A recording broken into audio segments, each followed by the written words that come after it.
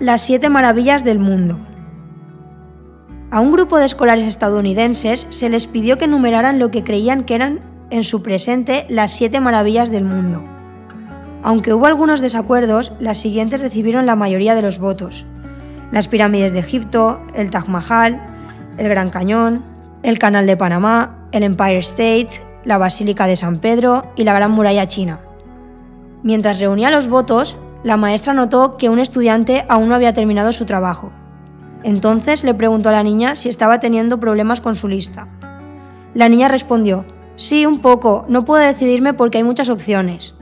La maestra dijo, bueno, dinos lo que tienes y quizás podamos ayudarte.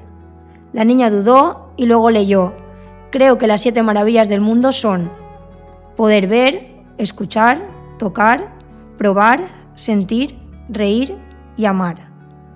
La habitación estaba tan silenciosa que se podía oír caer un alfiler. Las cosas que pasamos por alto por ser simples y ordinarias, dándolas por sentado, son realmente maravillosas. Un importante recordatorio. Las cosas más preciosas de la vida no pueden ser construidas a mano o compradas por el hombre.